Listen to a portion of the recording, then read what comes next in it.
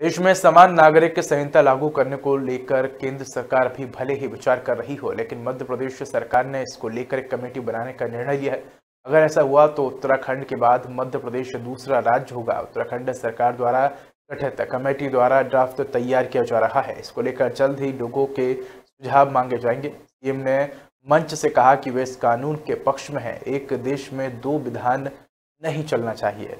मुख्यमंत्री शिवराज सिंह चौहान पैसा एक्ट लागू होने के बाद बड़वानी में आयोजित पैसा एक्ट जागरूकता कार्यक्रम में शामिल होने पहुँचे थे। कार्यक्रम को संबोधित करते हुए सीएम शिवराज सिंह चौहान ने कहा कि प्रदेश में आदिवासियों के नाम पर कई बार बड़े खेल होते हैं। जो लोग अपने नाम ज़मीन नहीं ले सकते हैं, वे आदिवासियों के नाम से ज़मीन ले लेते हैं। कई बार तो आदिवासी की बेटी से शादी करके ज़मीन उसके नाम से ले लेते हैं। सीएम ने कहा कि मैं देश में समान नागरिकता संहिता लागू करने के पक्षधर हूँ, क्योंकि देश से ज़्यादा शादियाँ क्यों कोई करे? और साथ ही उन्होंने कहा कि एक से ज़्यादा शादी कोई क्यों करे? और देश में दो विधान क्यों चले? इसलिए मध्य प्रदेश में एक कमेटी का गठन किया जा रहा है। सीएम ने कहा कि समान नागरिक संहिता एक पत्नी रखने का अधिकार है तो एक ही पत्नी सबके लिए होनी चाहिए।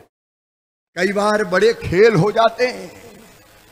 खुद ज़मीन नहीं ले सकते तो कोई आदिवासी के नाम से ज़मीन ले ली। होता है कि नहीं होता? अरे बोलो रे भैया। और कई बदमाश ऐसे भी आ गए, जो किसी आदिवासी बेटी से शादी कर लेते और शादी करके उसके नाम से ज़मीन ले लेते। आज मैं जागरण की अलग जगाने आया हूँ। बेटी से शादी की और ज़मीन ले ली। मैं तो इस बात का पक्षधर हूँ कि भारत में अब समय आ गया है एक समान नागरिक संहिता लागू होनी चाहिए। एक से ज़्यादा शादी क्यों करे कोई?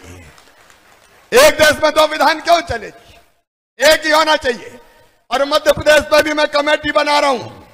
समान नागरिक संहिता एक पत्नी रखने का अधिकार है तो एक ही पत्नी सबके लिए होनी चाहिए। फिर ज़्यादा क्यों होना चाहिए?